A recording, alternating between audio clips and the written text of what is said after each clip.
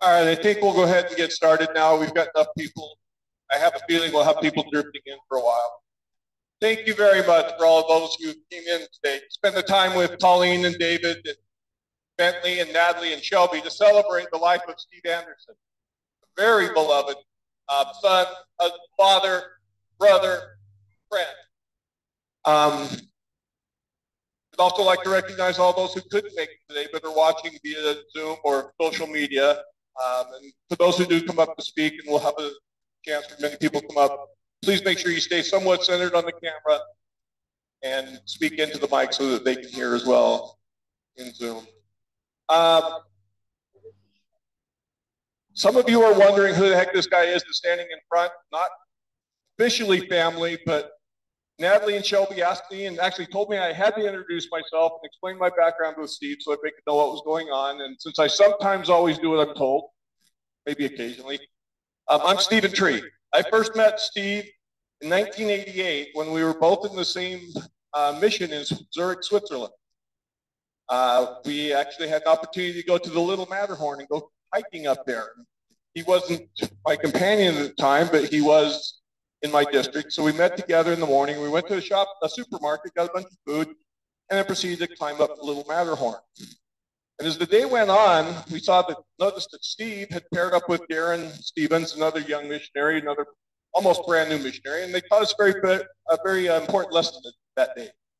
Never let greenies shop unsupervised.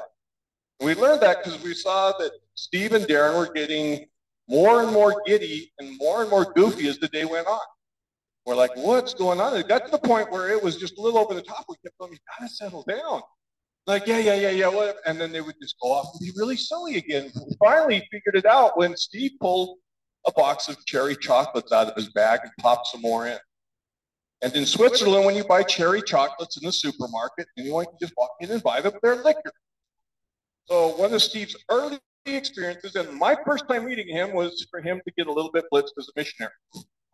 So I have a picture I've been desperately searching for. I wanted it up here of him somewhat drunk, stuck in the back of a hatchback, looking out the windows. We put him in the car and said, all right, you just stay there while we get everybody gathered up to go home. Uh, a very short time later, he became my companion. We served in Bali, Switzerland, um, in the middle of the Swiss Alps. Had an amazing time together. I'll talk a little bit more about the type of person Steve was in a little bit. But after we served together, we I moved on to a different area, but then shortly thereafter, we were called to be part of an amazing group of 10 missionaries who were asked to go open up East Germany to missionary work. Many of those eight, well, those 10 are here today or watching via social media. Unfortunately, at the last minute, two didn't make it. Um, their visas didn't come in and they had to join us later. But in March of 1989, Steve entered with the first group of eight missionaries into what was then East Germany. Um, he was my zone leader at the time, uh, which much to his frustration and chagrin. He went from being um, Steve 2 because he was my junior companion, so I was always Steve 1, he was Steve 2. He went to being my zone leader, Steve 2, still, still Steve 2, the zone leader. Uh, after our missions, then we got paired together. Sorry, we got put in the same apartment in Dresden. We weren't um, companions, but we served at the same apartment in Dresden at the end of our missions. And I went home a short time later, he joined. Since then, our lives have been intertwined significantly. From me sitting in the hospital watching him recover after he decided that he was too tall for the girls he wanted to date, so he took a head dive off of a 100 foot cliff and compressed his spine and spent several days in the hospital. To him showing up at the airport when I flew back overseas, overseas to meet my girlfriend and get what I thought was the worst thing I could get, a Dear John letter. Steve knew I didn't need to get, just get that and be by myself. So he took that letter. He knew the um, young lady, and he took and met me at the airport. Fortunately, that letter turned out to be the best news I could have gotten because it freed me up for what happened later. But Steve was there for that too. Came back to the States right after having met my girlfriend, who's now my wife. And he had to put up with me calling back to talk to her every day. And um, he and Janelle were the first ones to say she loved me. She didn't quite get that on her, they did. Um, they talked to her on the phone at one point. They got tired of my incessant phone calls and then immediately said, yeah, dude, she's totally in love with you. And like, no, she wouldn't even say that herself. But they were right, fortunately for me. And she's now my wife sitting here in the audience. I was with Steve he sat in his car outside his home, desperate to stay close to his family. He was there as I had um, some heartbreak I could barely deal with. We talked to each other. We were there for each other. I've been to his children's baptisms and I've been to Bentley's farewell and welcome home and tried to be as much a part of each other's lives as we could. And that's why this is, quite frankly, one of the hardest things I've ever done. And those who know my background know that's not a low bar. But that being said, Adley, Shelby, Bentley, I didn't see where you disappeared to. Bentley, thank you. Although it's the hardest, among the hardest things I've ever done, I'm honored and grateful that you asked me. So with that said, we're going to proceed as follows. Um, I hope I got this right. Mike is going to give the opening prayer, followed by a uh, um, talk from Bentley. His three children are going to talk. First Bentley, and then Shelby, and then Natalie, and then I'll resume from there and uh, talk about the rest of the program. Is Mike anywhere close? Oh, here he comes.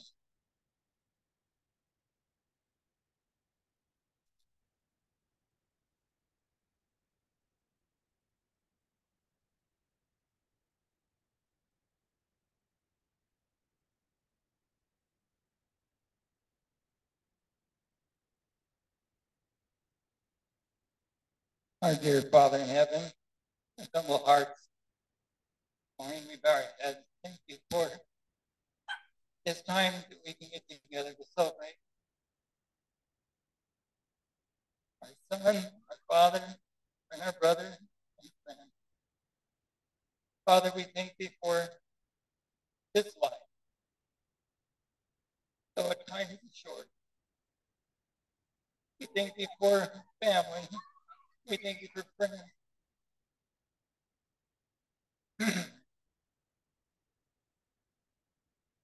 we ask you to bless us with the Spirit this day. Bless his mom, his dad. Bless them with peace. Bless his children. Bless them to know that Steve is loved by so many. If that can bring peace to them. Bless all those who have traveled this day. Bless them with safety. Bless them with peace. Father, there are those who could not make it this day, and bless them as well.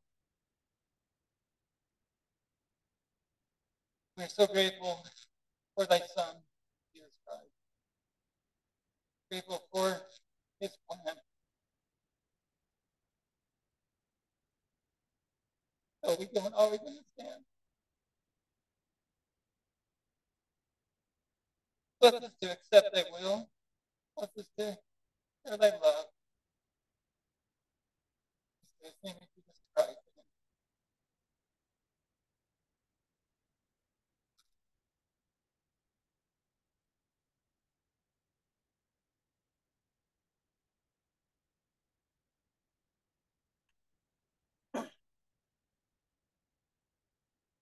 All right. Oh, there you go. I'm a lot louder than Mike. Sorry. I, I got the loud the loud voice from my mom and, and from my dad. So, hey, happy Saturday. Uh, my dad and I, and I used to always say that while we were running so that we could uh, kind of shock runners and, and other people don't know. Because as we we're always running, we always love to connect with people and share. It was always funny on the mountains. We just, even early in the morning, we'd yell like, hey, happy Saturday. Hope you're having a great day some people would be shocked and some people would stand back a bit and some people would smile. Um, and so we hope you guys are all having a wonderful Saturday and thanks for being here. Uh, this hill is really special to us. Um, I, in one of these photos, if you look, if you look in all of our photos, we have a photo of my dad building a jump, a snow jump, and jumping off it with a snow kayak right above you guys. So this was just a really special place. Um, so I'm going to be doing the live sketch today. And so I'll just start off here. So January 7th, 1969, my dad was born. um, something crazy to just kind of mark the beginning of his uh, of his of, of his him being on this earth was that the nurses on the third day came to uh, my grandma Anderson and told her that he had already rolled over, and they couldn't believe it. And I think that just kind of marked the start of my dad's life. That he was always moving, he was always 100 miles an hour in every direction, and just something kind of special. Um, as, as a teenager, he worked for Mervyn Thompson, worked on a farm, and um, sorry, and he, he always spoke so highly of that, working on the farm and learning how to work hard. At age 15, he got his Eagle Scout, and as a as a, as a gift for him, uh, getting his Eagle Scout, his dad bought him an RC airplane and kind of put it together for him. And my dad went out went out to go fly it, and it flew for two seconds and ran into the ground and flew into pieces. And that was the start of his flying career. Um, at at age uh, at age 16, he bought his own car. And for those of you who can remember, it was a beautiful yellow Pinto, one of the greatest cars of all time. And he loved that so dearly, and I think he even put lightning strikes on it at one moment. And um, he eventually, um, in high school, at his, his senior year, he started on the track team. I just kind of just joined randomly and ended up doing great, and that was the start of his running career. It was in high school. Um, he then ended up going on a mission, as Steve Trees talked about, and it was an amazing mission that inspired me to go on a mission later on. He had some amazing stories of smuggling Books of Mormon and, and Bibles behind the iron, iron curtain. And it's always been a special time of his life. And um, so inspiring. We have several letters from general authorities, including um, the current Latter-day Saint prophet, uh, President Nelson, uh, actually personally mentions my dad in one of his letters. And in some of the other general authority books, um, they actually mention my dad and his work during that time. Um, when he came back from the mission, um, he he worked at Bourne, and he met my beautiful mom, and they got married December 12th, 1990. They um,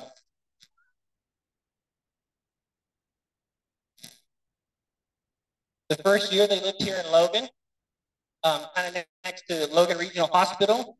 And then uh, my favorite story is that they bought a trailer in Franklin, and uh, I was born in '93. And so my first year as a kid, I was trailer craft. So I'm kind of proud of that. Um, at this time, while he was he was going to USU in engineering, and um, he was working at Icon uh, with his brother Brian, and um, and starting into aviation at this time too. Um, an important date that uh, several people wanted to make sure that I put on here is uh, in 1996 he bought his first boat. For you guys haven't seen the pictures, uh, I bet a third of them are just boating pictures. He loved the boat. He loved it, and all everything with boating. He loved working on it. He loved driving it. He loved the kneeboard. He loved the wakeboard. He loved the water ski. He loved the slalom ski. He, he loved to surf everything about boating he loved. And so that was his first boat. Um, in 1997, he got his first internship with American Airlines. And he loved American Airlines. And about two years later, was able to uh, start working at American Eagle. Um, at that time, he graduated from Utah State. And um, also right around this time, in would have been in 98, uh, he met another amazing, beautiful woman, Janelle Meisner, and they got married November 20th of 1998. Um, because of the difficulty of kind of starting a pilot career, um, he, they moved to Puerto Rico, and they also moved to Texas, and they moved around quite a bit as he was trying to build his career. Um, And he was actually about to become captain within three years of becoming, uh, of graduating. But then 9-11 happened and it kind of set him back. Um, so he wasn't able to get a captain bid with American Airlines at that moment. Um, but right around 9-11, right in 2000 and 2001, he had kind of stopped running for a while and his mother, uh, Wayne Anderson, asked him to run the St. George Marathon. And in usual Steve fashion, he said, I can do it without training. So he just showed up and ran the marathon and he paid dearly for it, uh, as he always did so with his with his crazy antics. But uh, that kind of started him back into running. And within a year or two, he was being sponsored by Brooks Running Company. So it just kind of showed his dedication that he could kind of sit and enjoy life and then just jump right back into running, and it was amazing. Um, one of the, the greatest moments of his life was um, him and Janelle deciding to build a house together up here. And in 2004, Janelle started designing it while he was flying. And um, at the beginning, the first week of March of 05, actually when Shelby was born. Oh, sorry, Natalie. I completely missed you. I apologize. Oops. Sorry, you were kind of mixed in the notes with Puerto Rico here back up here. Natalie was born January 7th, which is also very important. She shared her birthday with my dad in 2002. Um, and that was, they were here in Providence, but then they had to go back and live in Puerto Rico. So Natalie got to uh, grow up in a, in a fun place too. Maybe not as fun as Franklin and a trailer park, but still pretty fun. Um, and anyway, going back to Shelby, sorry, Shelby. Hey, March 6th, 2005, Shelby was born and they started working on the house that very same week. Um, it took them 18, 12 to 18 months, and they moved in in 06. And it was it was incredible. Um, it wasn't just a regular house either. My dad built that house out of specialized engineering foam and concrete, so it's earthquake, bomb-proof, like it's incredible. He built it with the help of a few family members and friends, and it was an insane project. And of course, I was, I think I was 12 at the time, so I was very crucial to the project. I was the official gluer and foam filler because I would walk around the house and fill in the cracks with foam. So I was very crucial to this project. Um, November 7th, 2005, he, uh, uh, he was, he wanted to get some more jet hours. Unfortunately, with American Eagle, he was just getting um, they were just flying smaller prop planes, and his dream had always been to fly a bigger jet. And so he started work with um, Frontier Airlines, November 7th, 2005. And he loved Frontier so much, and he loved all the people there. And he spent a lot of time even working in the union and, and helping out so many other pilots. Frontier was one of his greatest loves, and um, it was catapult for a lot of amazing things. Um, in 2009, this is kind of a, a funny, interesting side note of him. In 2009, as after going through some personal things, and he wanted to start traveling more, so he bought a motorhome. So I, we became white trash again. And we started traveling around, Natalie and Shelby and I, and my dad started traveling around, and going to all sorts of runs, and um, he, he made it into a rental business so it could be on the side while he was flying. It could be rented out. But that was a big love of ours. And he ended up buying a Jeep and renting that out and buying uh, a boat and renting that out. And we, we had a lot of good memories of having to fly out to the middle of nowhere to rescue people that were stranded or that had broken something in the motorhome. Um, in the last few years, um, he's picked up uh, flight instructing again. And one of the greatest moments of our family was uh, him helping Natalie to get her pilot's license. So Natalie's carrying on the birthright, and we're so proud of her. Um, I kind of have a, a, side note here because as I was talking to everybody and pulling this list together, uh, it was mentioned that I should have a life sketch of all of his injuries. Because for those who know him, he was pretty crazy and he was always getting himself in trouble. And I think his uh, his guardian angels worked full time for sure. And so I'm sure they're glad that they have a rest now. Um, So I'm going to do a quick life sketch of some of his funny injuries. So just after his mission, he was riding a motorcycle, and uh, it's been a bit of a debate of who was working on the motorcycle before he was riding it, but the front wheel came off while he was driving it, and he ended up crashing pretty hard, and he kind of scalped himself. He also got uh, he got rocks in his back that they had to scrub out, and that was always a good story because that was right after his mission.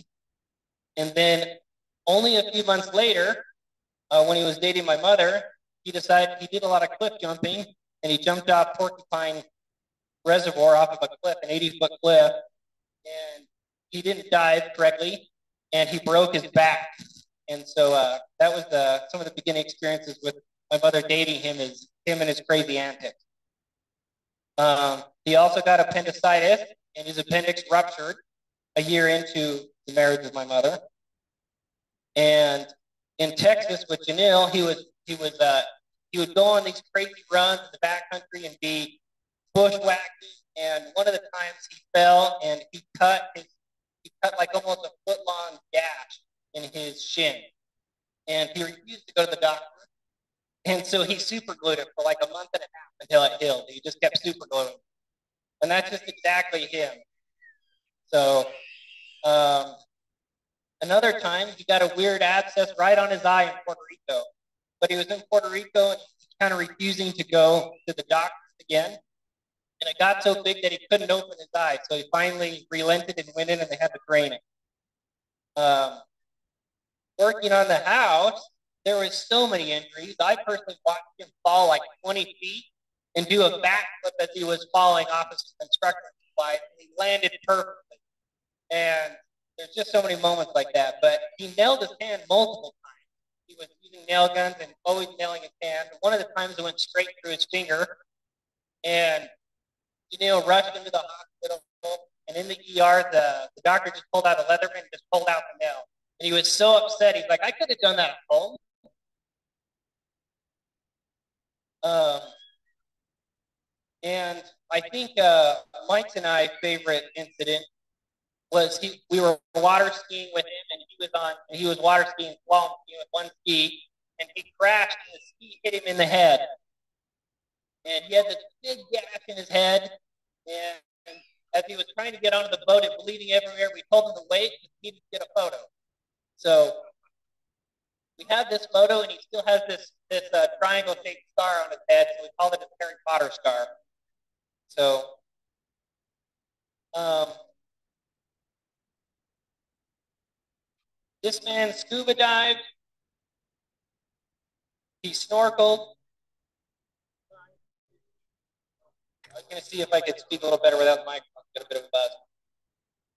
This man scuba dived. He snorkeled. He ran.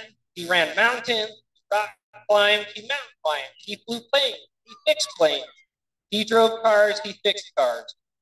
He water skied, he wakeboarded, he surfed, he drove boats, he fixed boats. He built houses, he built hangars, he did landscaping, he ran heavy equipment, he painted, he did framing, he did concrete.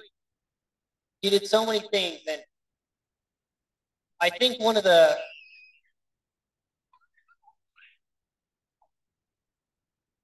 I think the theme of his life was to do the impossible and to do everything learning and sharing with others.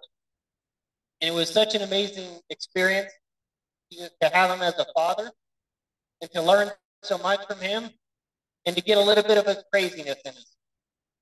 And um, I know that he's here with us and I know that he loves us. And uh, thanks everybody for being here. He had an amazing life and let's share some more memories today.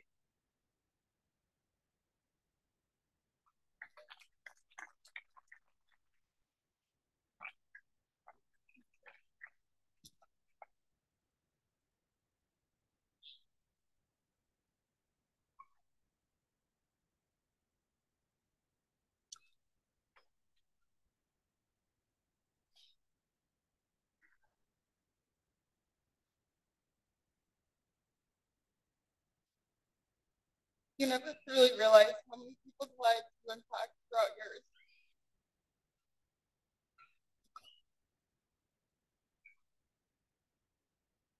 I never realized the extent of friends and loved ones my dad had until this. It would take an army to ever come close to replacing my dad. Half of my family and I have here with us.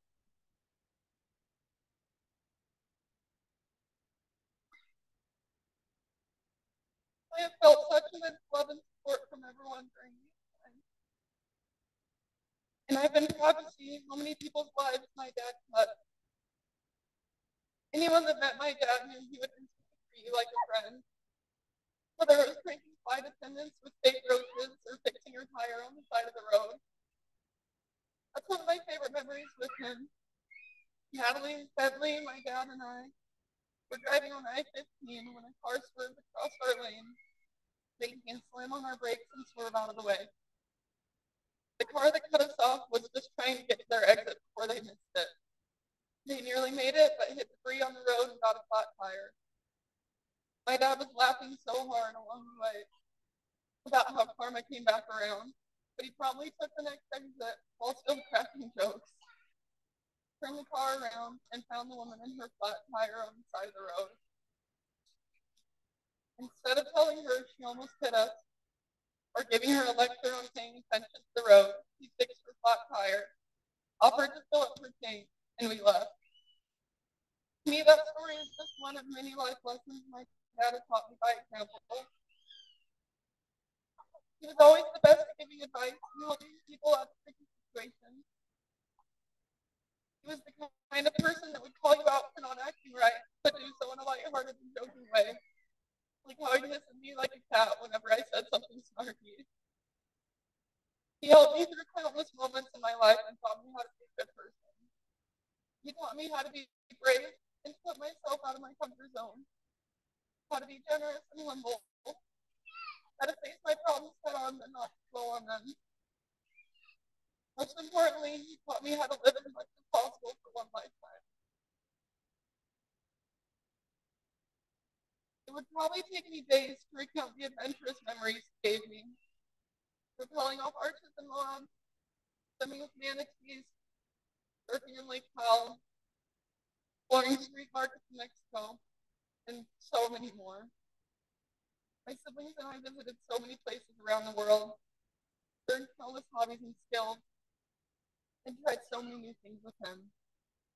He was the kind of dad that lived to love his kids and to show them the world. I look back on Lake Powell trips he took us and 20 or 30 of our friends on, and I honestly can't grasp the amount of patience and determination that would have required. It just came naturally to him. It was never a burden to him to, to, do these huge trips. They were the highlight of school summers. No matter how his health was, he find him at Lake at least once a year, cliff jumping, water skiing, playing king of the boat with friends, riding dirt bikes on the sandstone. We always said his body grew.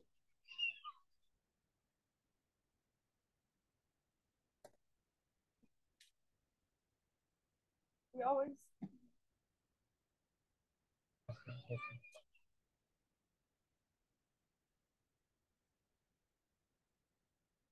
We always said his body grew, but his mind never.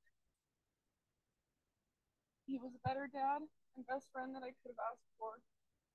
Lived with enough memories for multiple lifetimes. I could have been more proud to have shared 19 years of those memories with him.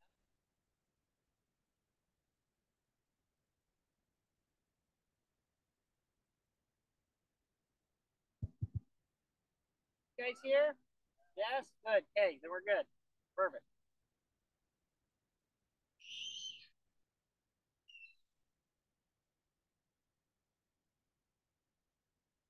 Found joy in introducing my siblings and I to hobbies. Encouraged us to always keep trying new things. He put me through piano, guitar, and vocal lessons.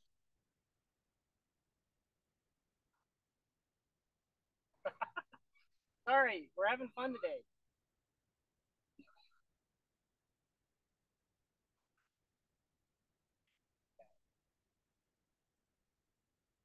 All right, hopefully this works now.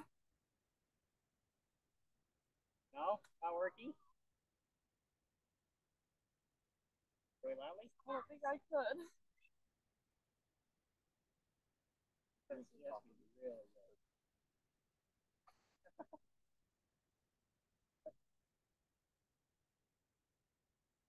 He put me through piano, guitar, and vocal lessons.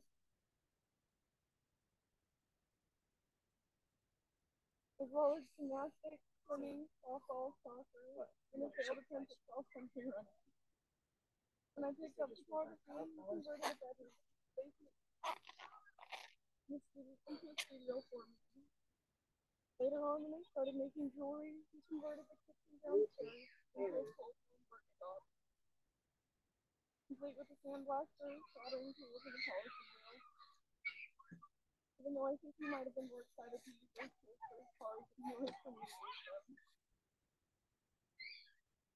he supported me through every phase and interest of my life, using his creative ability to build things the best possible. I hope to one day have the opportunity to carry on that. Everyone in my family has a little part of my dad that they carry with them. Whether it be from the lessons Bluetooth pairing. His jokes that rubbed off on us, to the influence his personality had on us. He would be honored to see all of you here in band t-shirts, flight uniforms, and board shorts in memory of him. I'll never be able to express the gratitude I have for how much he is loved and lives on through us. It's a proud honor to be his daughter and to see a bit of him in each and every one of you. I see my dad's love, humor, and strength the most in my sister Natalie. I cherish the opportunity I have to live up to my dad, my sibling. We carry a responsibility to continue his traditions and the example he set.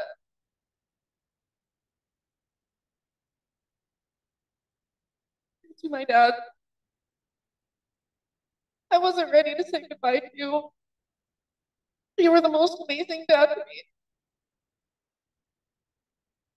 Thank you for the life you created for me and the memories you gave me.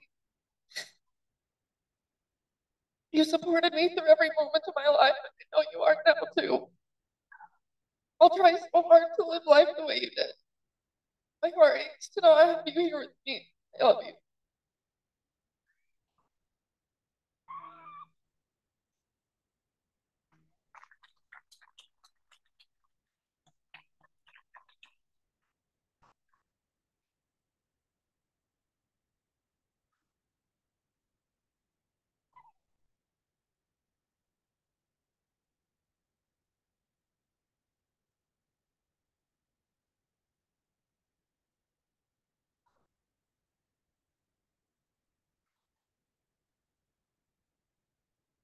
My name's Natalie. I'm Steve's oldest daughter, and I'm gonna try really hard to make it through this, but if I don't, Steve's gonna have to take over for me. I've said it a million times before, and I'll say it at least once more. My dad was more than my dad, he was my best friend. He showed me how to ride a bike, he showed me how to draw and how to paint. He showed me how to surf, how to drive a boat, and how to tow a trailer. He showed me how to work on cars. He showed me how to build house projects. He showed me love and a dedication to family that I aspire to show them one day. One of my greatest blessings was having him as my flight instructor. My favorite memory of my father is the day of my first solo. Many of you pilots may have had a similar experience in flight school. We were flying out of the Logan Airport, practicing landings and maneuvers like a typical lesson. After my third or fourth landing, my dad turned to me and said, all right, taxi back to the ramp, I'm hopping out. I whipped my head around in shock. I had no idea that today was the day that, was that I was going to experience flying a plane on my own. I responded, no, you're not. You're staying right here. After a long taxi full of back and forth arguing, he calmly told me that I could do this. He told me that I was ready and that he believed in me. He assured me that I had been ready for a few flights now, and that if I focused, I was going to do amazing. He watched from as close as he could get as I flew three patterns on my own. One of the greatest feelings I've ever experienced was hopping out of that impossibly sticky Cessna door and hearing his excitement, jumping into the biggest hug and hearing him tell me, I told you so. He, his faith in me was all I needed to believe in myself. I was terrified, but his faith in me gave me the strength I needed to push past the nerves. No matter how nervous I ever felt during a flight, knowing that he was there always brought me back to a feeling of security. No matter how many times he pulled the surprise simulated engine failure or made me go up on a windy day with a 15 knot crosswind, I've never felt more safe than I did sitting next to him in an airplane. A few weeks ago, he told me that besides his kids, flight instructing was one of his greatest joys in life. When I found that surprising, he said it was because he loved changing lives. He loved knowing that he had left that person with a skill and with lessons that they would never forget. He changed so many lives. I'm only now really realizing how many people he truly reached throughout his life. He left his mark on the world in countless ways through countless people.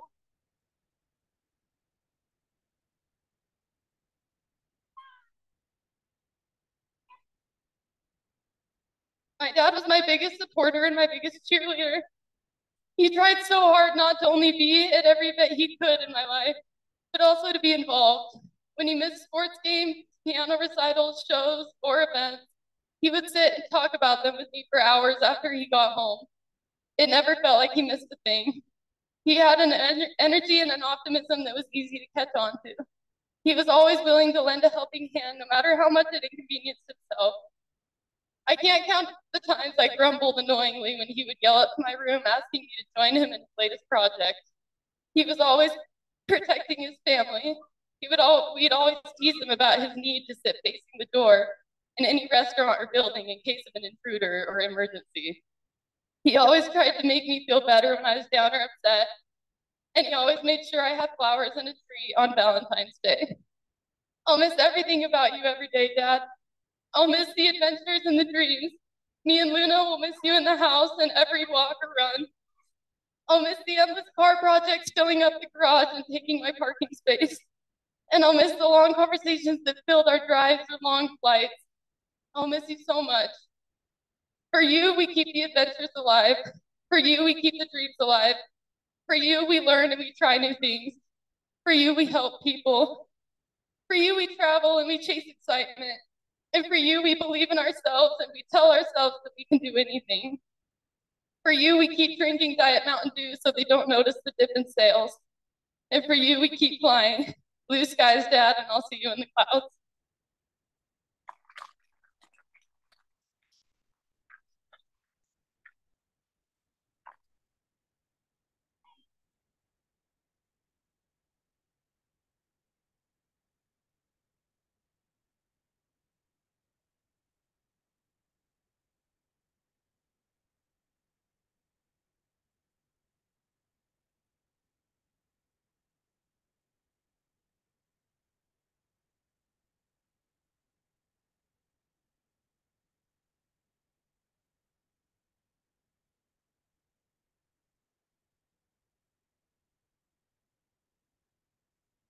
I'd rather go get blown up in a rocket than keep going, I think.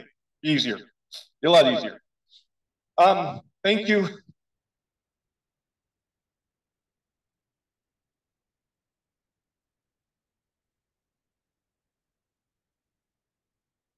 Thank you, Shelby. Thank you, Natalie. Thank you, Bentley, for giving us insight into a man who quite literally helped change the world. If you look around, you see people in flight crew, uniforms. You see people that were former missionaries with him. You see childhood friends and family who traveled from out of state. It's not a given. He changed individual lives on a regular basis, but he didn't just change individual lives. He literally helped change the world. I mentioned a little bit about him going into East Germany. I reached out to some members out there, and even now, 35 years later, people remembered him People spoke highly of him and wanted to be heard today. And I had several. I had to narrow it down to two because I don't want to drone on all day, but two particular ones that spoke up to talk about how much he changed them, and in changing them, changed the world. We've been told often that the Spirit of Christ is the Spirit of freedom. And as Steve Anderson went, taught the world about our Savior Jesus Christ. People were excited. They'd never even heard anything about him except for possibly the name. We got asked in all honesty several times. We put cosmonauts in space and they didn't see heaven. Where is it? And that wasn't a sarcastic question. That was the extent of their knowledge, and he brought them that. And that spirit of freedom spread across the world. We got to be there as the wall came down, as people who had never experienced freedom got to experience freedom. And if you ask those people what brought it, what helped bring the change to their land, they'll tell you it was the spirit of freedom brought by the spirit of Christ. And Steve was the pioneer that did that so well. I'm just going to read quickly. You know, I never did get nervous before until after everything was over, and right now I'm shaking like a leaf. I guess it's appropriate given my name. Um, this is from one family in his first area, and Uh, I just picked one from each of his two areas in East Germany. Dear Bentley, dear Natalie, dear Shelby, and of course, dear family. When we heard of the unexpected death of your father, son, and brother, we were very surprised and saddened. We met Steve in 1989. He was a missionary in Leipzig in the then still existing German Democratic Republic, Germany, and had the privilege that he and his companion, Elder Con Yost, were allowed to stay with us at that time. Or stay with us. At that time, there were no apartments available for the missionaries, and they had to stay with members of the church. He was a very diligent and friendly missionary and followed the special strict rules of conduct that were imposed upon the missionaries. I'm sure Steve Tree and many in this audience actually can confirm this. But the members of the church were thrilled that the missionaries could finally work in East Germany. So we got to know him better and better during the months they lived in our house. And when there was no more GDR and he had finished his missionary work and we could travel the world freely, we flew to Utah in the USA and also visited Stephen Logan who had meanwhile discovered his love of airplanes and invited us on a sightseeing flight. And they go on to talk about their trip with him and how awesome it was to see that he stayed true to what he had taught them as a missionary. That was an example to them he'd come back and he'd taken on a regular life. And even then, he was still Elder Anderson. And at the end, I said, in any case, the Father in heaven felt he had to take him to himself. We wish his children all the best for the future, and especially Natalie, who we believe lived with her father and was with him when he died. We send our regards to the entire family and once again offer our sincere condolences for the untimely passing their father, son, brother, and friend. With love, Regina and Ika Heinze.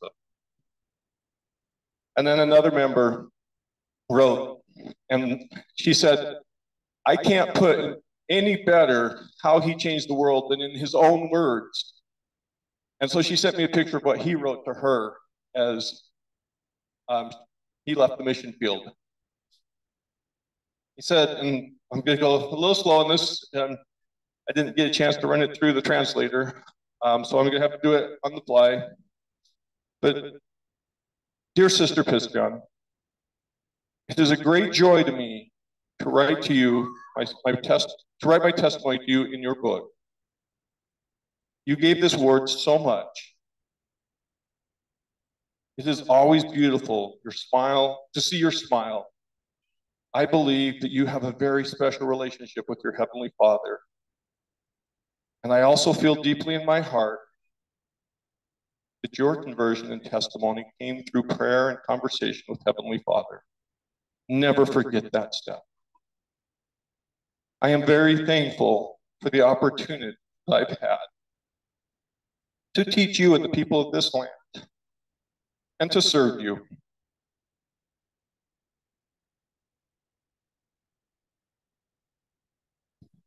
I know that I am a servant of Jesus Christ and that this is his church. God lives and Jesus Christ is his son. The Book of Mormon is the living word of God. The gospel is wonderful. Your brother, Elder Stephen Anderson. He told me she has read that and reread that to get strength over and over again. Gave her the strength after she left to come back. I could give lots of examples of how he's changed lives and changed the world. Now I'm going to turn the microphone over to those who'd also like to talk about Steve and the change he's had in their lives, the impact he's had. Now, I know it's going to be therapeutic for some to stand here and go on and on and on about all the wonderful memories of Steve. But believe me, for those who are waiting also to share, it's not as therapeutic. So please share one or two short thoughts or memories and then pass on the mic to the next, that everyone who has, who wants will have the opportunity. And at the family's request, should you fail to do so, you'll find out that I am a high school teacher, an alternative high school, and I have no problem walking up and standing next to you. If that's not enough of a hint, I'll put my arm around you. And if that's not a hint, I will pry the microphone out of your hands and as tenderly and tactfully, which unfortunately isn't very, remind you it's time to pass the mic to someone else. So we'll go ahead and turn the microphone first, Steve's mom and dad, and give them an opportunity to share with them, share with us more of Steve. And as they're coming up, I just want to say, those of you who wish you knew Steve better, come talk to Natalie and Shelby and Bentley. You'll get to know him. They reflect him so well. They are truly his children, and through them, you will get to know him.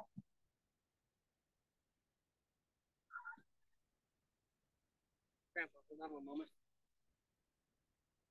Bluetooth pairing.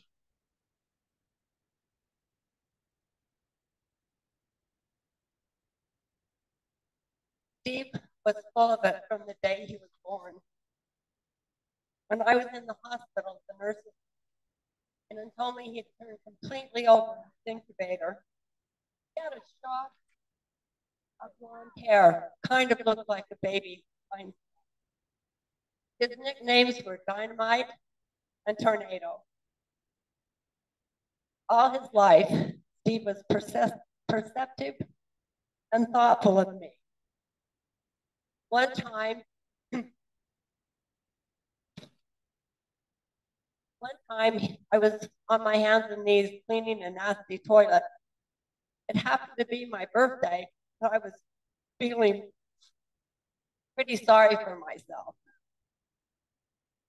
Uh, Steve, maybe four years old, walked into the bathroom and said, Mommy, you're the most beautiful toilet cleaner in the whole wide world. At that time, that's exactly how I felt, who I was. We have younger grandchildren. We have younger grandchildren.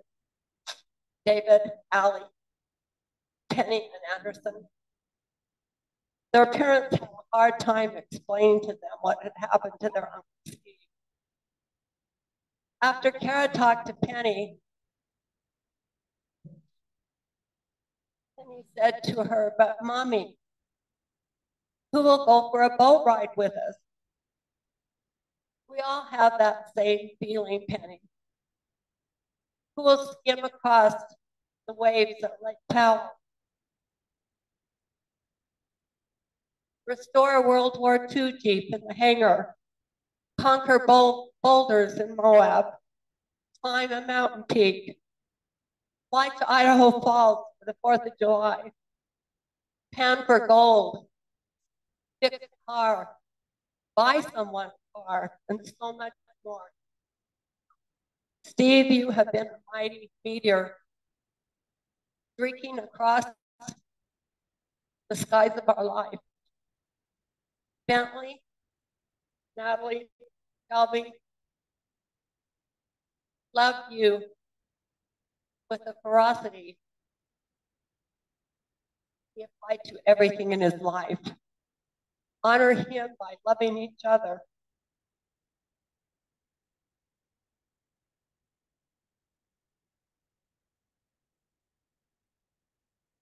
To my family, I have found strength, peace, and even join your efforts to serve and support these family.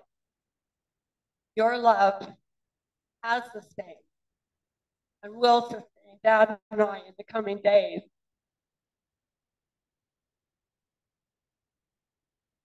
From the beginning of time, death has been love's greatest challenge. Love's greatest challenge. I believe now and ultimately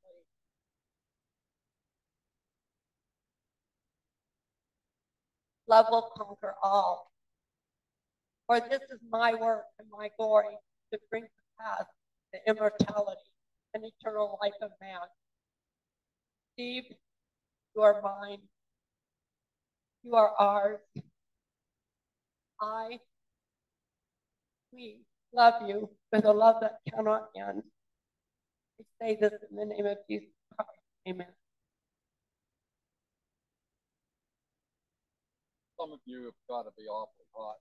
Please don't feel uh, embarrassed if you want to return to your car. I'm going to try to be real quick.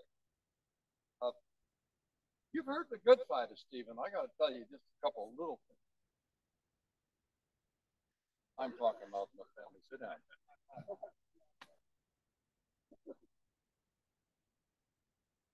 When Stephen uh, went into the mission home, I was just a little worried. He's always so full of it. Just can't sit still. And he went jogging and he jumped across the car and scratched the paint being in the mission home. The mission president there sent him home. I said, You're not going on that mission, Stephen. And I, I am not letting you go. And the stake president talked to me. I said, I don't think you should go. And, uh, you know, Stephen had the ability that I don't have, and that's to change his life and grow from this past experience. The little kid, uh, five years old, I had made toys. I made my Christmas toys, all of them, and I made him this beautiful scooter to sit on. Well, he had tormented one of the younger kids and hurt their toy. So, in front of him, I took that scooter in our backyard and I sawed the sucker in two with a handsaw. And uh, he learned from that. Uh, we worked together, we loved together, helped him build a home, helped him fix his old junker cars. Just recently, Bear Lake, Dad, he said, this is going to be a legacy in my family. The only reason I want this property is seven acres up here, so that all my family can come and enjoy it. His wealth he shared with everybody. He made wealth in the airlines a lot more than I have made. He shared it. What a wonderful love that is, too. I'm going to end with one little thought, short poem, describes him, made by Mr. Hunt uh, over 150 years ago.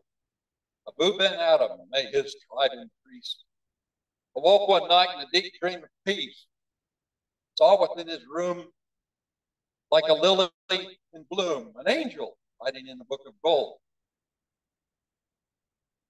Extremely peace it made Ben Abu bold, and to the angel said, What ridest thou?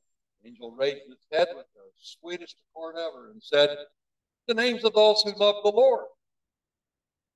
Is mine one of them?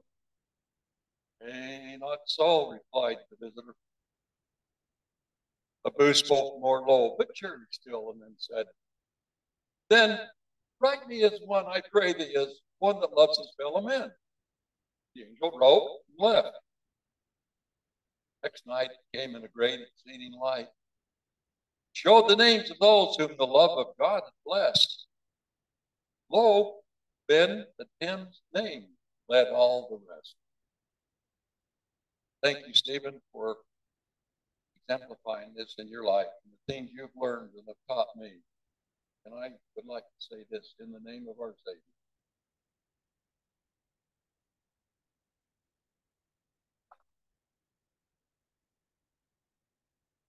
Thank you, Brother and Sister Anderson. I would like to open up the family next.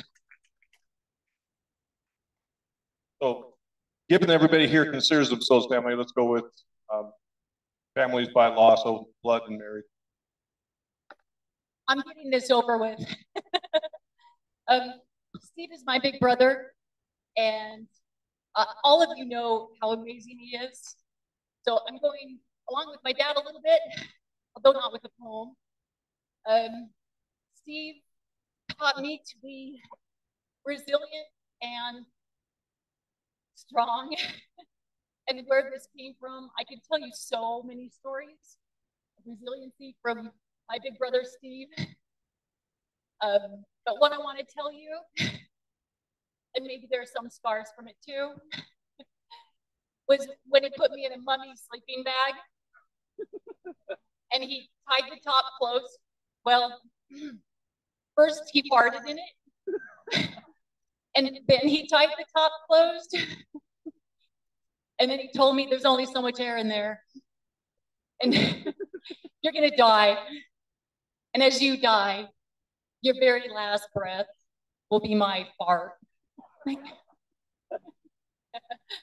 so thank you for the strength and love. I just need to uh, clarify one of Bentley's comments about that was not Steve's motorcycle that he wrecked. and uh, I don't know that the wheel fell off. Um, being Steve's brother was amazing. Um, every every activity was an adventure.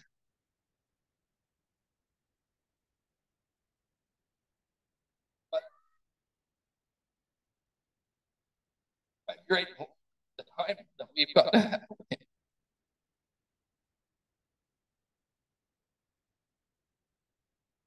Outpouring from the community and the family. Amazing. I appreciate it. Love you all.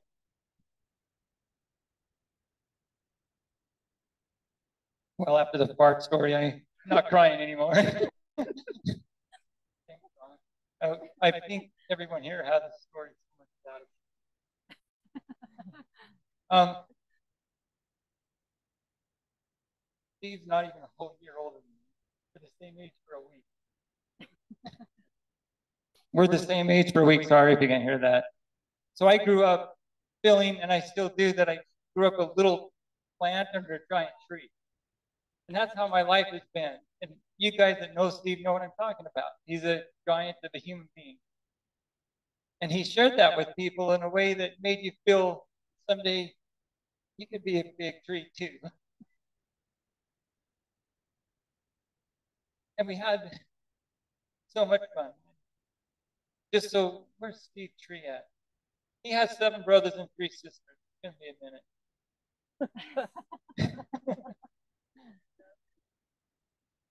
But growing up with Steve, we made little model airplanes. We always had goals to see if we could fly them longer than 10 seconds. I know if anyone's made model airplanes, that's not very good, but none of us even got to 10 seconds. and somehow he flies good airplanes. We've always wondered how that's even possible. But as a little brother, and there's three of us, we're all one year apart from each other. We just grew up in the same room. And it was a nonstop fight, argument, um, questions. We always argued over time travel, weight of the universe, whether you could escape the black hole. And then every other girl seems to think of, but I won't bring that up. And so I just, last week, I've thought many times about which one of our arguments he's realized is true. Since now he has those answers.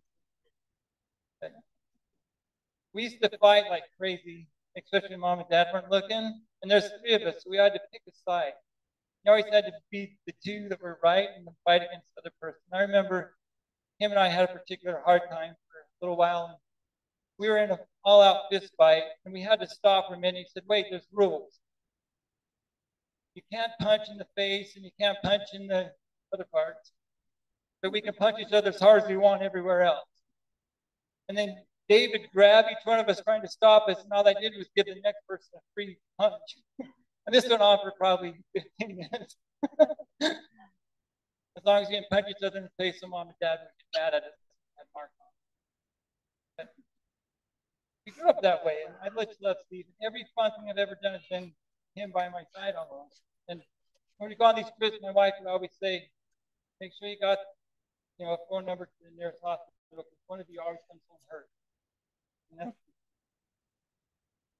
my goal in life. Steve, we miss you. We love you. And family, thank you so much. Natalie, Joey, family. You were his. Right? I'm going to let someone else talk now. yeah, well, you guys took away all my fart jokes. Uh, Chris still wanted to speak for a minute. I'm just kidding, Chris. I, I barely build her up there. Uh, thanks everyone for coming out here. A couple things I just wanted to ask. If Steve has worked on your car, would you raise your hand? you know, uh, Bentley just told me, you know, I didn't get to talk about the vehicles. And if, if you know Steve, one of his great passions was motor and cars. And he is, I just saw probably 30 hands raised there, and that's pretty amazing.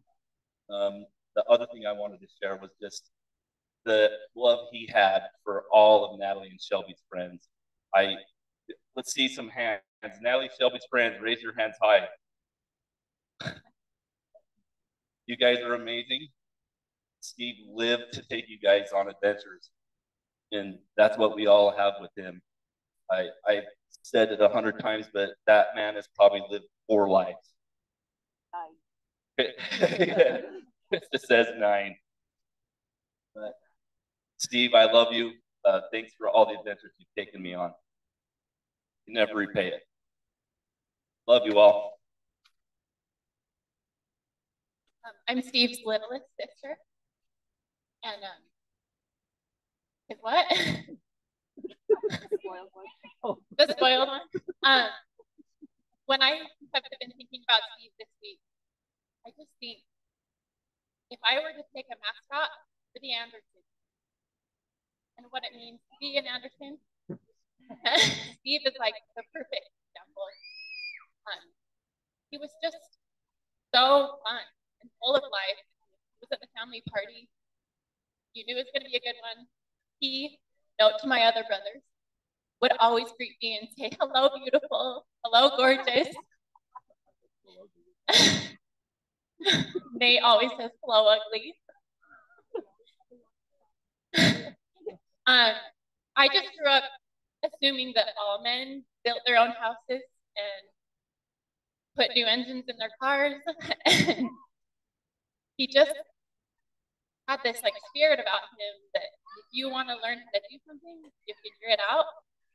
And I asked him one time, like, how did you learn how to tile your house and do electricity and build your cars? He told me YouTube. Like, and I, I just think we should carry that on, that spirit of our life is a time to grow and always, if you want to do something, you want to be a runner, you want to be a builder, do it. Everyone has that capability, and I'm really grateful for his example of generosity and the way he gave back, and love him so much. Oh. Like Paula, I was tortured. Oh. In fact, when Steve came home from his mission, I cried. I sat in the back of the van and cried the whole way home, a whole hour.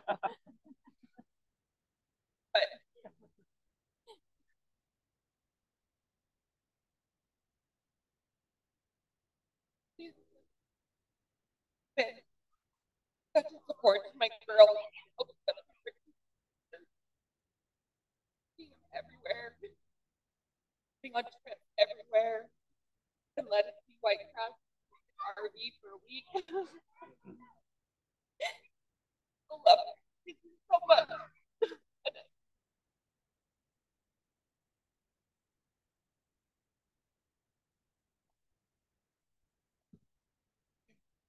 All right, Steve Free. Survived the brothers and sisters.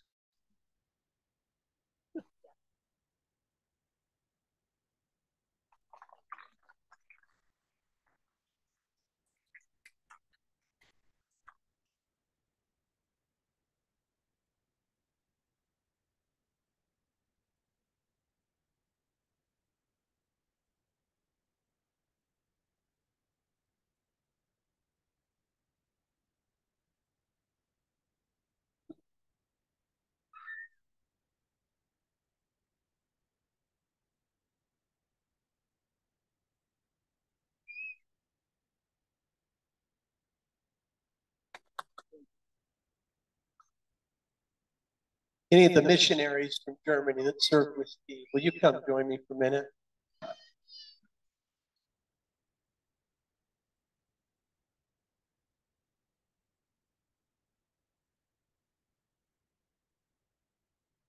Rick, I saw you.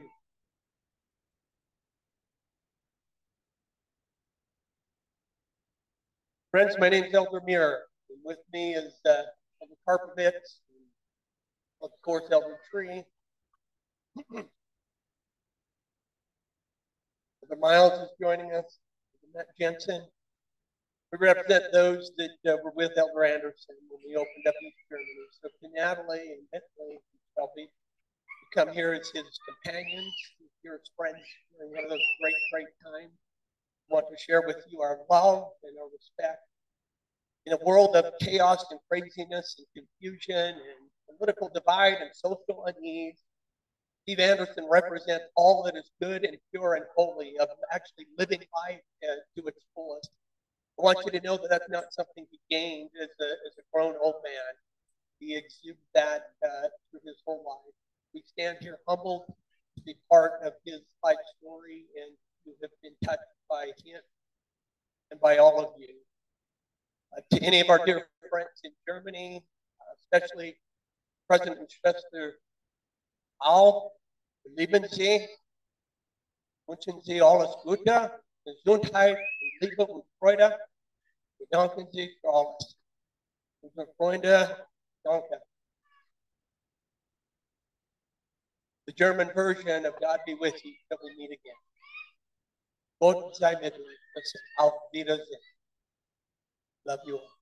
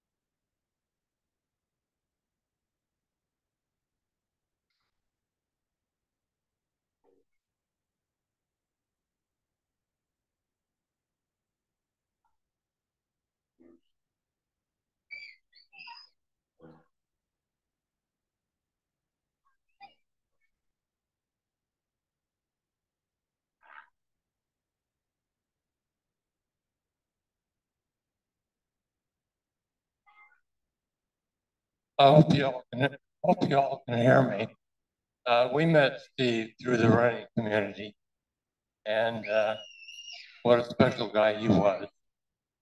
The picture over here of him pushing is our daughter, who was handicapped,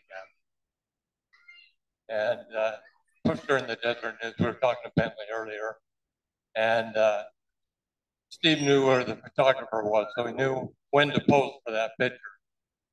And uh, after the race, I don't know if any of you have had Banbury Cross Donuts. Uh, if you did, raise your hand. Not too many. Banbury Cross Donuts are awesome.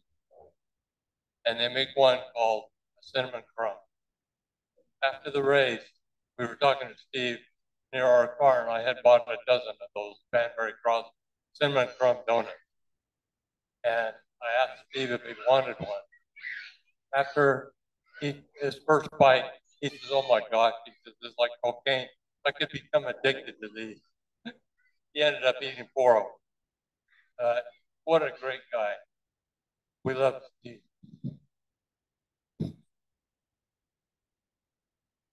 And we're. Well, what a wonderful guy he was. He Enjoyed every interaction with him. And bless your family. All of you.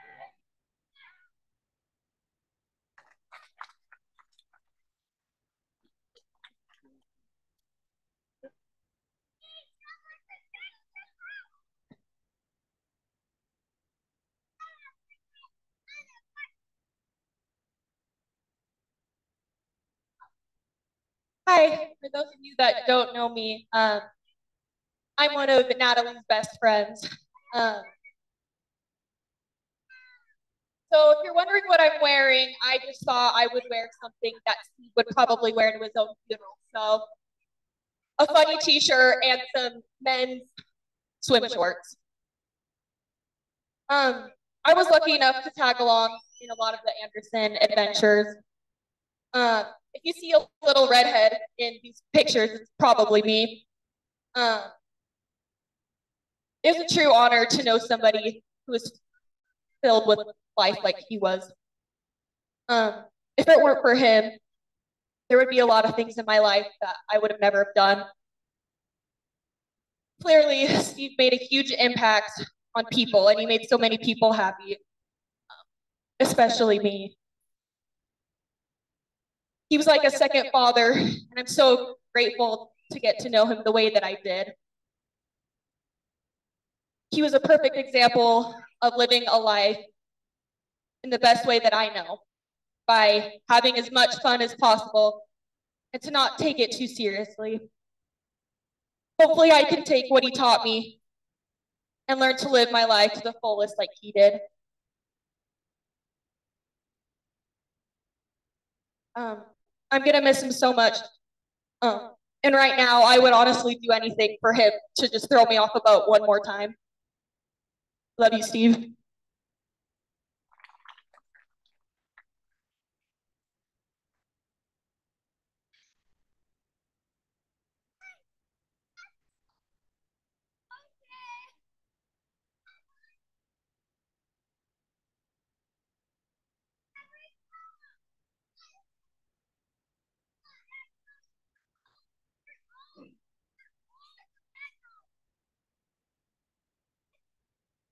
I know you're probably thinking, uh, who, who's this guy?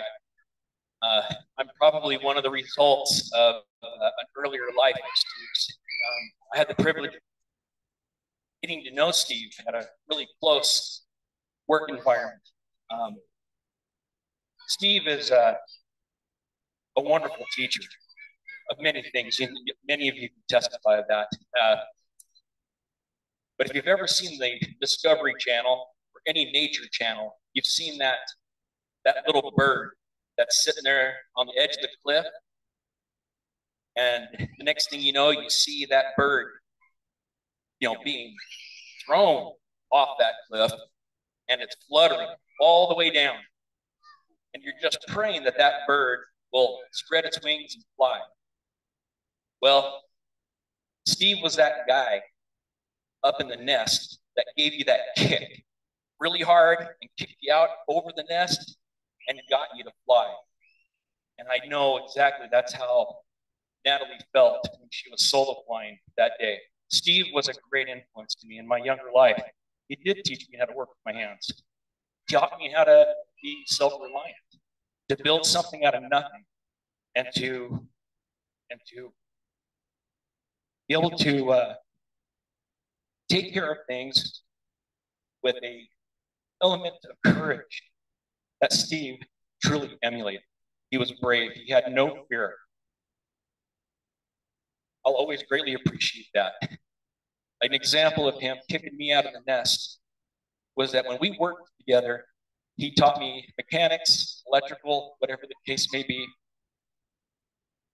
but made me really work for it. Every night when I would leave work at 12 o'clock midnight, we worked swing shift. I had to go out and figure out how to repair my own car because he would go out and sabotage it before I'd go and head home. There'd be a, a, line of cans tied on underneath my car, and be rattling down the road, and I'd have to stop and pull that out and probably fix something else on the way. We had an ongoing fun rivalry between friends, between truly, he treated me like a brother. And we always had a great, great time. I know you, your siblings were always teased and, and uh, I had a lot of fun with you. Let me give you one fast story and I'll, I'll be quiet. But uh, we, we'd always play tricks on each other, as you've heard. One of them would be on our cars, the other ones would be on our home or our apartment. I think uh, at one time I even toilet papered the inside of his home. And I know that didn't uh, keep Andre very happy with that one. Sorry. But I think his toilet was filled with corn cobs by the time I was done and, and a few other things. But uh, Steve, I got to tell you this one, and uh, he really got me good. It was midnight. I probably just got done reattaching a throttle cable to my Jeep. Made my way home in the middle of the winter. And across the street from every stoplight that I got to, people were honking at me. and flashing their high beams and honking and honking and flashing. What in the world? There's nobody out here on the road except a few cars. And I had no idea what that was all about. Anyhow, I pull into the driveway, walk into my apartment, and the next morning my wife gets up, looks out the front window, probably taking care of our son, and as she's looking out the front window, she's she calls to me and says, Shane, you won't believe this. I was like, what, what's going on? She goes, there's there's a cardboard sign on the front of your car. I'm like, oh, okay. What is it? And then she goes, it says honk, I'm gay. I was like, what? And I'm like, who the heck put that on there? Anyhow, you know, back in the day, it was pretty appropriate, but, uh, you know, I'll take my stripes right now. But Steve, I owe you one. And, uh, but because of your goodness to me and teaching, and teaching me to be brave and to take on life's challenges, I, I, I owe you one big. That's all I have to say. I know he was a true, true friend of Christ. That's the way he was to me. And I say that in Jesus Christ. Amen.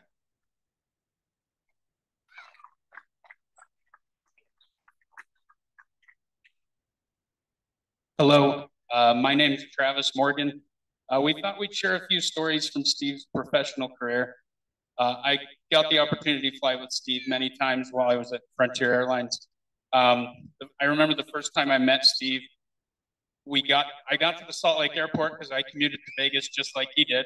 I had no idea who this guy was, but I show up at the gate, and he shows up at the gate, and the gate agent tells us, "You're not both going to make it. There's only one seat left."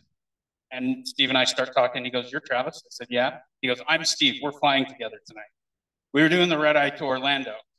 So if we're not both going to make it to Vegas, how is this going to go down? Well, the rules are I was there first, I get the seat. So he's like, You take the seat, I'll be there. Trust me, I'll be there. And I'm like, Dude, this is the last flight to Vegas. Like, there's no way. It's not happening. He's like, I'll figure it out. So I said, Okay, if you don't make it, I need a test. Like, I need to know so that, you know, we can make some other arrangements. Well, he made it 10 minutes before departure. He shows up. He had flown to Burbank and then from Burbank to Vegas. And now he's going to be the captain on a flight to or- Orlando. He made it. It was great. That was my first time flying with Steve. Um, and I flew with him many more times after that. One time we landed in uh, San Diego in the evening, and we had only about 13 hours in San Diego. Uh, we were supposed to be at the van the next morning at 9:30, and uh, Steve said, "Hey, so tomorrow morning I'm going to get up, I'm going to run to the beach, and I'm going to surf for an hour or two, and then I'm going to run back to the hotel, and I'll be to the van by 9:30." I'm like, "This guy is crazy. There's no way. Like a 13-hour overnight for me is, you know, sleep."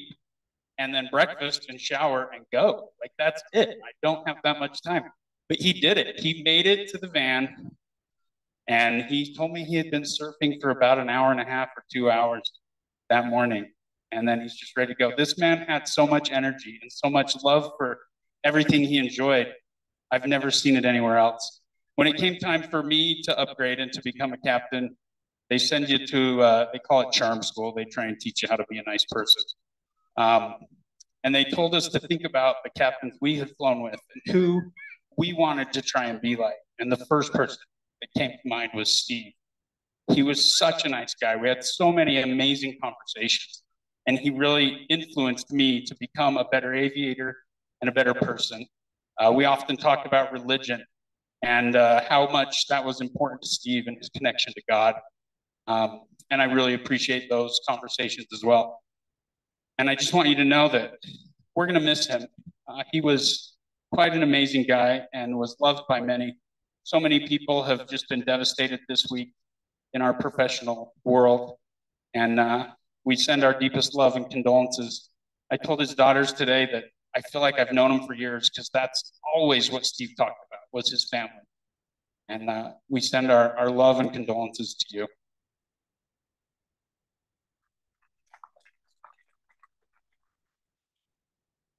Uh, my name is Devin Huzzy. I'm the Las Vegas Base Chief Pilot and Steve's uh, Direct Chief Pilot, Frontier Airlines. And uh, I do want to uh, echo what Travis said uh, about Steve. He's been an incredible person. Uh, I, I, actually would rather be up here uh, more so in the capacity of a friend, because that's how the relationship was with he and I. You always want to ask any pilot. You avoid your chief pilot. You don't talk to him. if you're talking to your chief pilot, something went wrong. So, uh, but that wasn't Steve.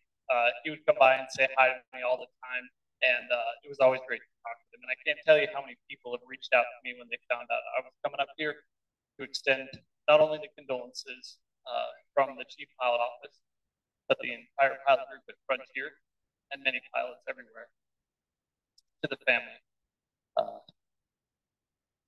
He was an incredible person.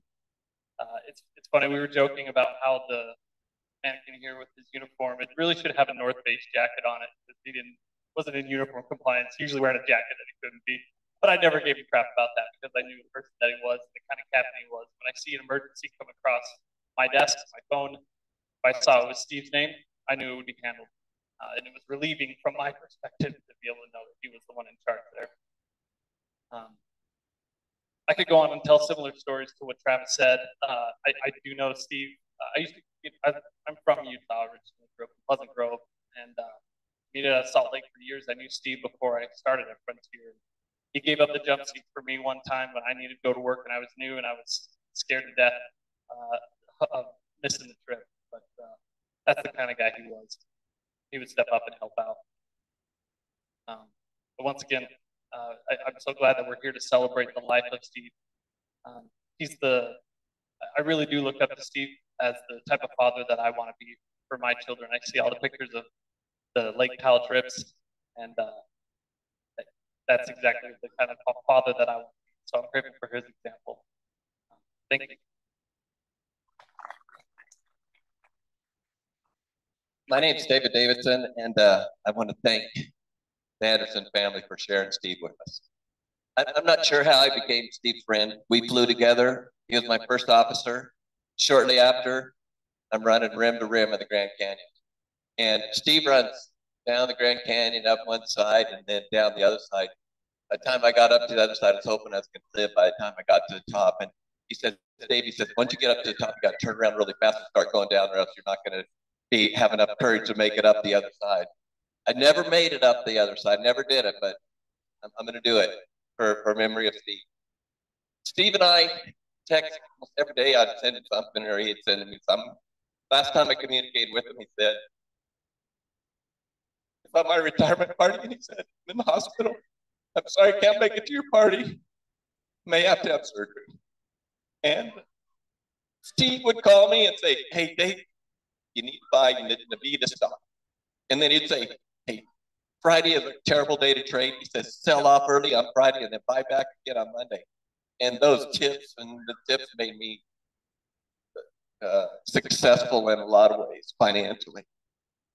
But he was that way. He would call and say, hey, I'm going to do this or do that. He called and said, hey, Dave, he said, he says, you know what, um, I'm pacing for this race. You should come pace for this race. I said, I can run, but I'm not a runner. Steve's a runner.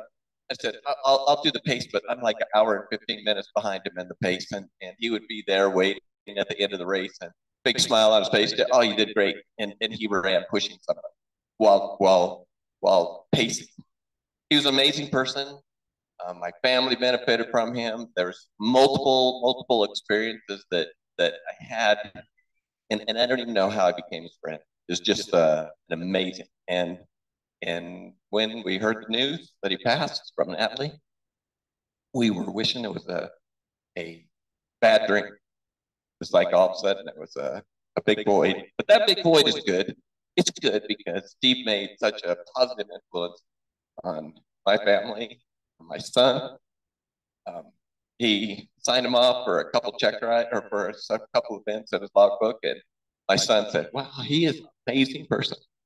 My wife would, or my Steve would say to me, my wife was there. He said, Steve, I don't know what you did to get such a wonderful wife. He was very complimentary, made you feel wonderful. We'll miss you, and I, I thank the Anderson family because uh, sharing Steve with us was a beautiful thing. I received hundreds of calls and uh, messages from the Frontier family, all speaking in very, very high regards of Steve and his uh, personality and the life that he chose to live. We'll miss you.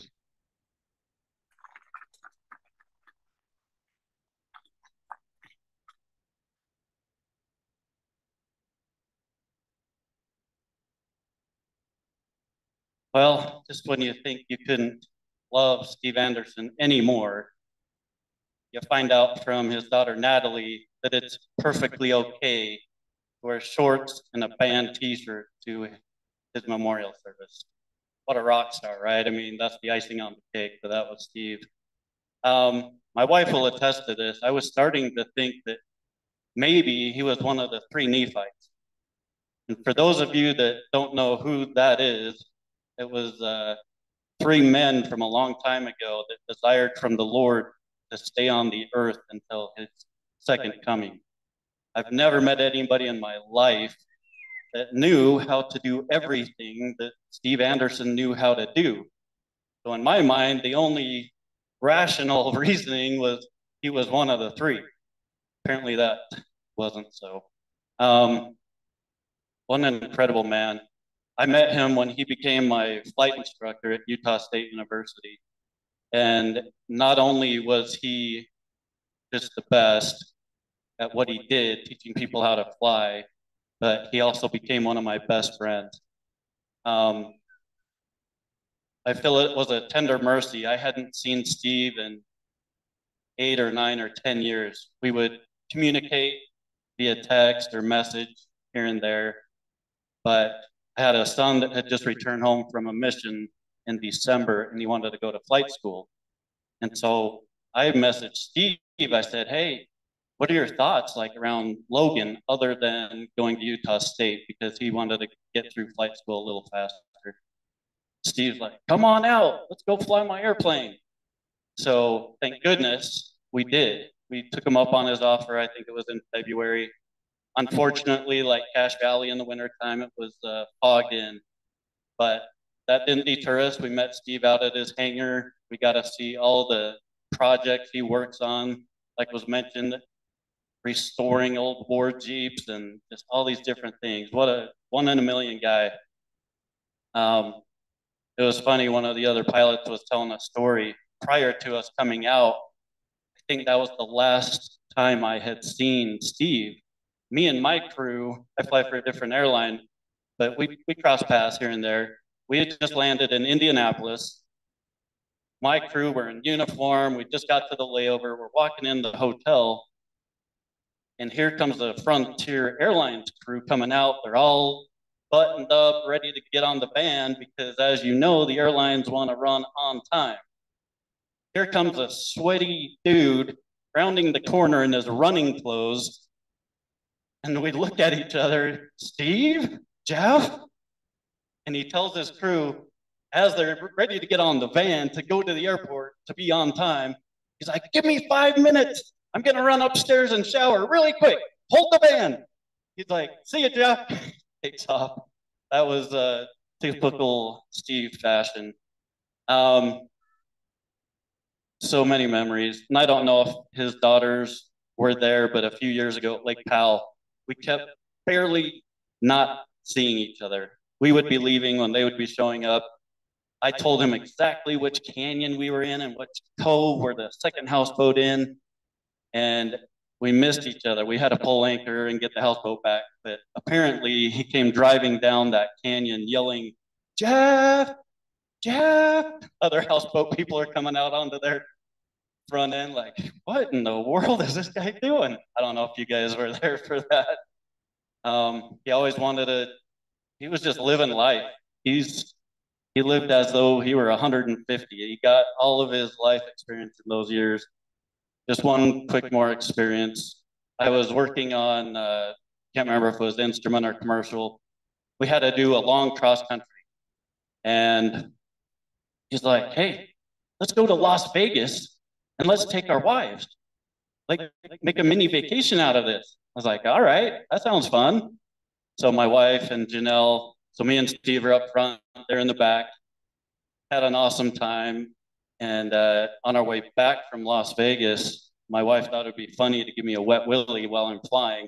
So she lifts my headset off, sticks her finger in my ear, and before I know it, is there anybody from the FAA in the audience right now? Raise your hand. I, I can pinpoint you. So before I even know it, so now I'm getting a wet willy. Steve, to get back at my wife, pushes the controls forward to where if you're not, you're hanging from your straps, is what it's called. Everything that wasn't nailed down hit the ceiling. The wives are screaming in terror. I probably am too, because I wasn't ready for that either. He's like, don't you ever do that again. um, so many great experiences. Coming into the land in Logan, it got fogged in. I was working on private, we didn't have a lot of. Uh, oh, he's saddling up. He's saddling up. We're fogged in. The top of the tower sticking out. That's all you can see. Steve's like, what? Like, obviously, we had plenty of gas. We could divert somewhere.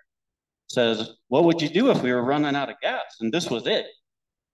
He's like, look, we know the runway's just to the right side of the tower. Let's go in and start descending, see what happens.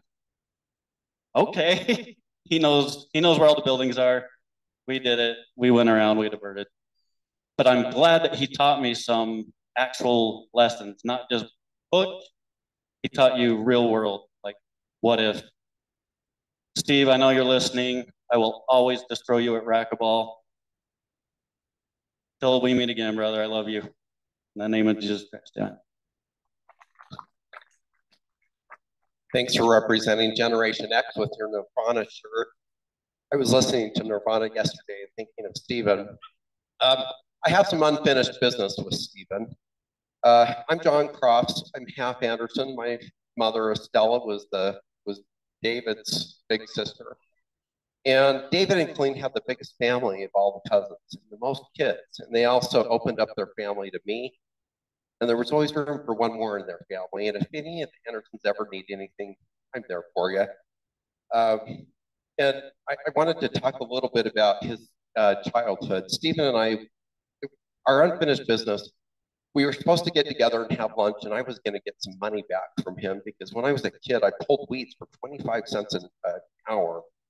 And I bought Stephen a squirt gun, and I said, Don't you squirt Grandma Mildred with Anderson with that squirt gun. And he did. He squirted her with it, and she took it and smashed it right in front of us. And then she said, You get over here too, John. And she grabbed my hair and smashed my squirt gun. So, and Stephen was laughing. He thought that was the funniest thing that I got my hair pulled and he and my squirt gun smashed. But he was such a great guy. And it was a hot day, about like it is today. And just have so many good memories of the Andersons. I think that um, uh, Steve had one of the best blessings on the planet. He has some of the best parents in the world. David and Colleen, I love you so much, and I don't think anybody should, I don't think any parent should ever have to watch their child pass. And uh, anyway, I you're all going to go to heaven. I, and I, I think that the atonement's so broad, it's going to, I, I think a lot of you guys are going to be surprised to see me and other people there too. But I can't wait to uh, talk to Stephen and finish that unfinished business, and I want my 50 cents back. It took me two hours of pulling weeds for, I think it was Uncle Van. I think he paid us a quarter an hour. Squirt guns didn't work with Grandma Mildred, and uh, Steve just, he did things like that all the time. He's just the funnest cousin, and I, I'm just three months older or older than him, and I felt like um, I kind of got chipped out of his death too. And I really did want to meet up with them. And I just want to say, you know, a really good attribute you have is when you're suffering and you hide it and you give happiness to other people. I know he had a rough life on at times and no one knew it. He just hid it, he gulped it down and you know, to his kids, you know, you're you have one of the best parents in the world too. I don't know your other parents, but Stephen is a real compliment to everybody. And uh, I love him and I'm going to miss him. And I do want my squirt gun back. And it's too bad they don't sell those 50 cent squirt guns anymore. I would have put one with them. Thanks.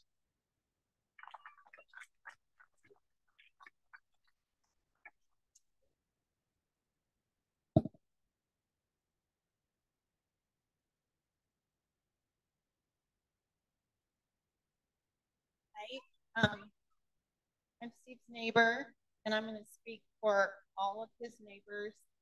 How much? Oh, right here? Okay. Um, I'm going to just speak for all of his Steve's neighbors. There was never a a day when Steve was actually home. There was never a dull day that went by when he was there. Um, he would he wouldn't sleep, he wouldn't rest, wouldn't take a nap. One day he got up early, probably six in the morning, to go mow his lawn. And when I saw him, I said, Steve, who mows their lawn at six in the morning and wakes everybody up? Don't you ever do that again? So um, I tell him all the time whenever I saw him, he was just going with the boat, with his all of you know, he had all these um, things to do, all the stuff put um, in the back of his truck. And I'd always yell over and I say, Steve, go take a nap. Or Steve, go watch TV, grab your potato chips, sit on the couch to see what it's like. You've never done that before. And I think when I said that to him, he just cringed. Like, never a day in my life would I take a nap or watch TV. But anyway, I just want to tell you how how great of a neighbor he was and how good he was to my kids. He, I think he, unless my my daughter is the little redhead, little mermaid, he taught her so many things to climb, uh, to rock climb, to ski, to anything she can do right now. I think Steve was the one who took her everywhere and taught her everything. Um, when he would go to Lake Powell with my kids, and I was always worried about how, you know, little 22 year olds, they would act kind of scary. And every time Steve would go with them, and I'd say, oh, good, maybe someone could stop them from, you know, causing trouble, getting in trouble. Then I thought, wait a minute, Steve would be the ringleader in doing that. So one thing he he did was he, while he was in Lake Powell, he texted me and my husband, and he said, I have never been with a greater group of kids. And I was so happy to hear that from him. And he said that these young boys were the some of the funnest times he's ever had. And he talked so highly about all of them. I know how much they all really loved him. And we're going to miss him, minus the mowing the lawn at six in the morning. But we're going to really miss him. We're going to help take care of Nat and Shelby and whatever you guys need. We're we're here for you. Um, I was so honored when we were at the house and Nat's Nat's mom Janelle was talking to the social worker. She said, Well, I'm Nat's mom. And she introduced me as Nat's second mom. So really honored for her say that. Okay, before I get bawling my eyes out, I'll just say we love you, Steve. We'll miss you. And hopefully we can live to honor you and make you happy when you look down on us. Another thing, just want to add that my son up in heaven is going to love him. They're going to have a lot of fun and he's going to teach him to fly and teach him to sing. They're going to have a good time. Thanks. one more thing, sorry. My husband wanted me to say that if anything ever happened to him, that I was to marry Steve and I'd have the time of my life. We've got time for one more person. While he's coming up, a couple of housekeeping items. When this is over, please stay in your seats if possible for a few minutes. We're gonna do a drone flyby and, um, we want everybody waving when the drone goes over or just sitting? Waving? Waving, okay. Um, for those who didn't get a chance to come up and speak, please take advantage of the registry here or the online registry at White Pines and that mind also White Pines staff. Thank you very much for all you've done to pull this together. Um, and then there will be a um, voting activity. Bring your favorite Steve food. Come to Newton Dam at four o'clock today. Uh, good afternoon. My name is Craig Robinson. By show of hands, how many pilots do we have out here today? There's a lot of us. Uh, I met Steve when I became a flight instructor at Utah State, and I'm going to take a different tact. Uh, Steve was a pain in my ass from the day I met him. Uh, to go along with his poor sister, on one of our first excursions, Jack Hunter had asked us to fly down to Salt Lake City in the Arrow because, as 141 instructors, we needed to go fly with the FAA with Tom Dufresne, and uh, that was a lot of fun. And on the way down there, I learned that apparently Steve had been on a steady diet of cabbage the night before. Now, if you've ever flown in a Piper Arrow, there's no, there's not a window in that airplane. There, there's a door that you can open, which was on my side. When, when it got to stinking something terrible, and, so, and Steve just laughed. He looked at me and just, he's like, just enjoy it. And, and the only windows on his side, I'm like, please, no, no, no, man, just, just, just let it marinate. Oh, it was brutal. And I thought, you and I are going to get along just fine. Uh, fast forward a little bit, February 98. Jack brings in a new student. He says, Craig, this is Janelle. Uh, you're going to be her flight instructor. I was like, oh, great. And she, Janelle was gung ho. She was one of those students that every CFI hopes to get. She wanted to fly like crazy. So we got her up, trained her up, soloed her. I don't think I got much further past that. And then fate intervened. I sent Janelle on a stage check with Steve. And uh, and then I never saw her again.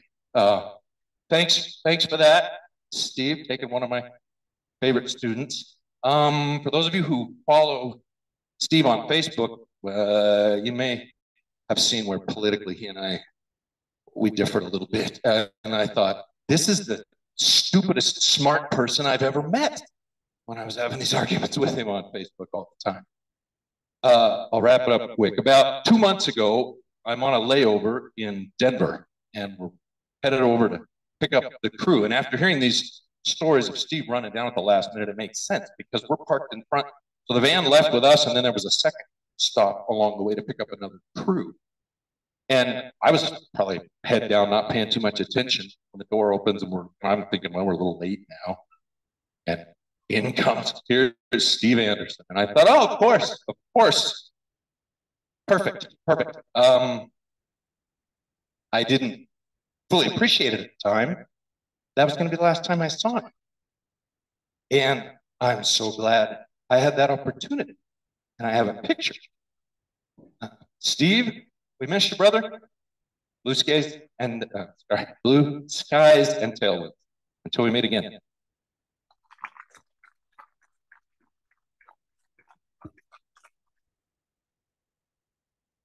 To uh, steal a line from the great philosopher Mel Brooks, it's good to be king. With the microphone in my hand, I'm the king. That's right with you, honey. Yeah, thumbs up on that. My wife says I can be king for a second.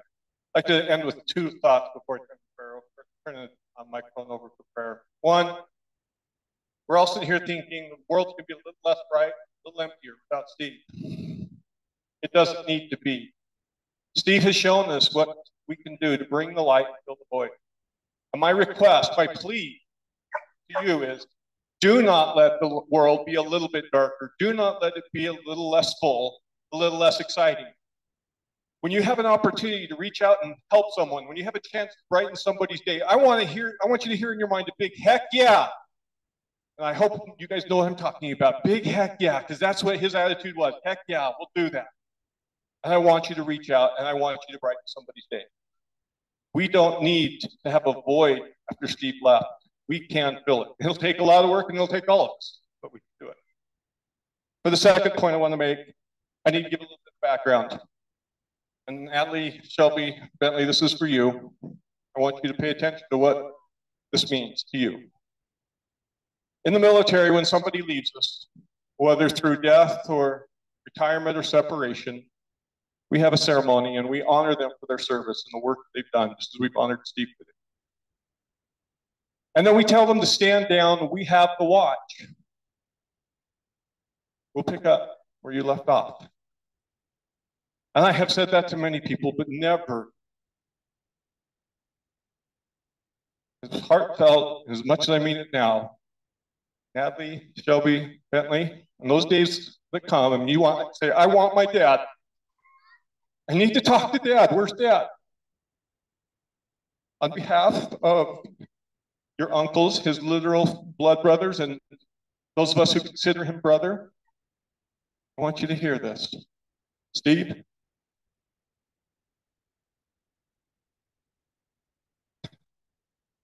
stand down. We have the watch.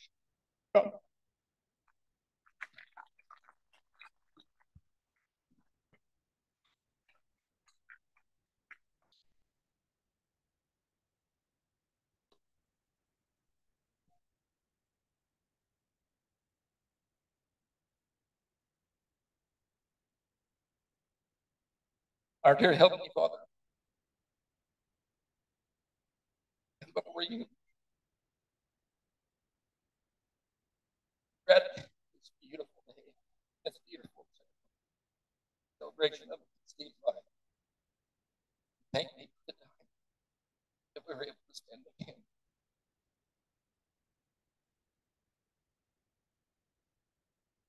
He was a special person. And now he is with special people that have gone before him. Please bless his family.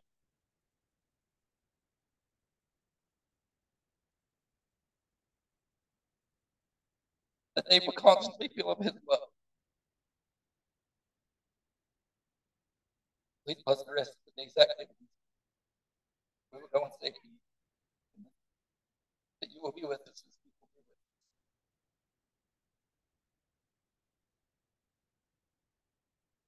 Bless Natalie and Shelby and Mary. Let them know that we are there for them. We'll be there for them always. Say the same in the name of Christ.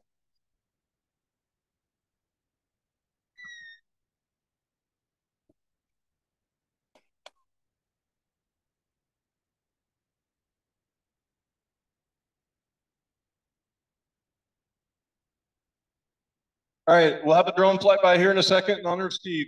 Wave and then again at 4 p.m. Please, please, to the family, write down your memories in the book or online at White Pines. We would love to have those preserved forever. Thank you all for coming. God bless. Have a wonderful day.